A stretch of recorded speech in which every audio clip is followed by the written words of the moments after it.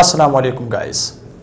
If the span or distance between two column is up to 20 feet, so what should be the size of column and beam with steel reinforcement details? This is the topic for today for normal residential building. So let's get started guys. The size of beam and column with reinforcement for the span of 20 feet for residential building.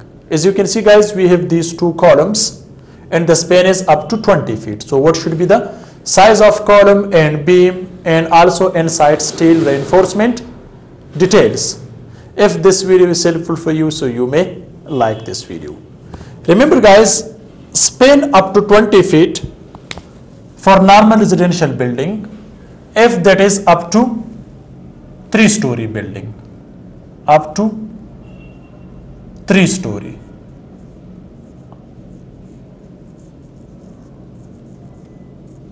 building. Or you can say G plus 2 ground floor plus 2 if the span is up to 20 feet so the size of the column should not be less than the first one is size of column.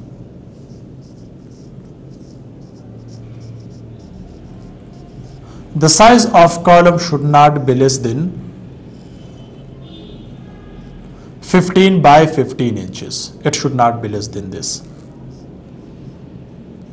This is size of column.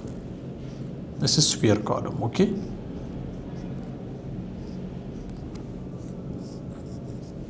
Now inside steel reinforcement for this size this is with concrete cover.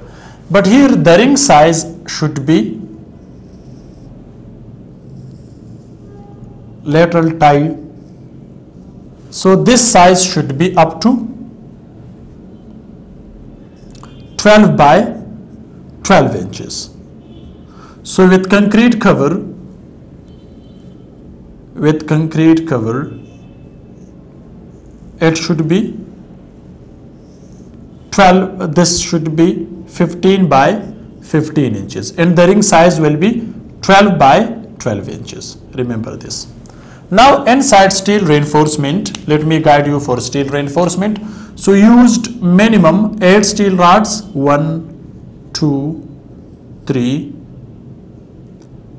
4 5 6 7 8 steel rods. Used minimum 8 steel rods. And dia should be steel reinforcement okay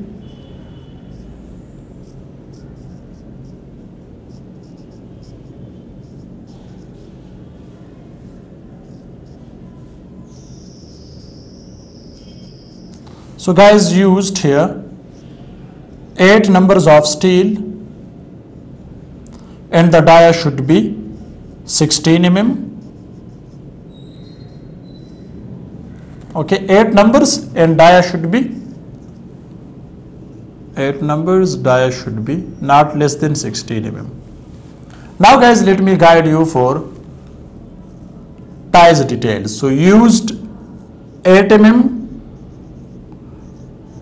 with the spacing of 150 mm or 6 inches C slash C center to center distance between ties okay? So these are steel reinforcement. If the size of column is 15 by 15 inches and this is the span up to 20 feet and you can go up to 3 story G plus 2 story okay?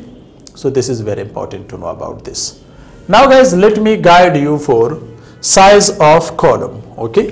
The second one is here. The third one is here. Size sorry size of beam. Size of beam.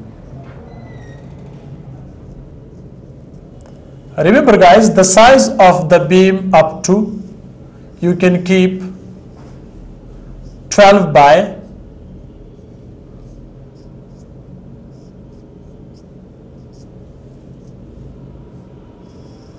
16 inches. This is the depth of the beam which is 16 inches and the width should not be less than 12 inches in the case of 15 by 15 inches size of column and the span between two column up to 20 feet. So the size of the beam is 12 by 16 inches. And here guys you can use the steel reinforcement. Four steel rods at the bottom and two at the top. And here the bottom steel reinforcement dia should not be less than 16 mm. Okay? And the upper portion dia should not be less than 12 mm it means you can use four steel uh, six steel rods four at the bottom and two at the top. So this is designed for up to 20 feet. If we have three floors RG plus 2 in that case remember guys here the tie spacing uh, the stirrup spacing guys you can see this is long section. So here these are stirrups okay? So here guys the stirrup dia should be 8 mm with the spacing of